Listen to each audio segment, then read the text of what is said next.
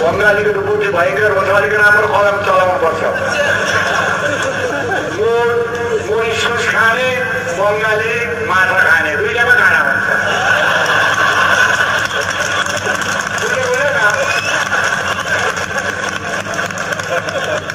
कलकत्ताले मलाई के के खान्छ भन्नु होला म पनि इस्कुस खाने इस्कुसमा खाँडै हुन्छ। माछा बजे खाँडै हुन्छ